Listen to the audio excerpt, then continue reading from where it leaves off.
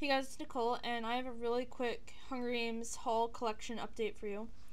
So, one of my friends from school got me a late Christmas present.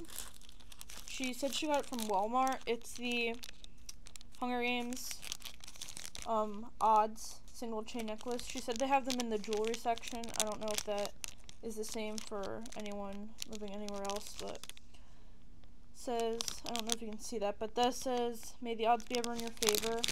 And then there's a District 12 charm and a charm that looks like a piece of coal. So that's really cool. I really like this.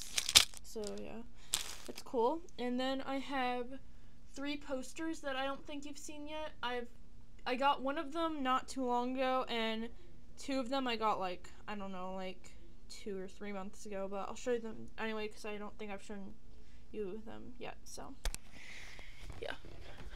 Alright. One of my other friends got me this Peeta poster from her book fair. She goes to another school. Like, she goes to a school a town over, so. And it says Peeta The Hunger Games 2012 at the bottom. That's cool. I really like this poster. Alright, so it has Peeta and, like, District 12 in the background. And it has, like, a border, which is cool. And then the other posters that I got like a few months ago, but I don't think I've ever shown them to you. I have Josh, which I got I got both of these in a um, US Magazine special edition.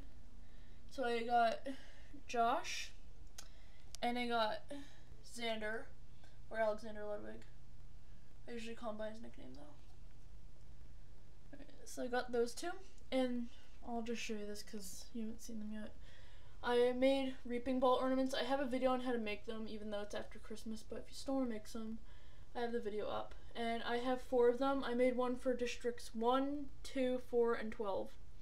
And they have the names of all the tributes that were in the games throughout the trilogy. So that's cool. So yeah, that's my update for you. I hope you liked it, and subscribe for more Hunger Games videos. So yeah, thanks for watching. Bye.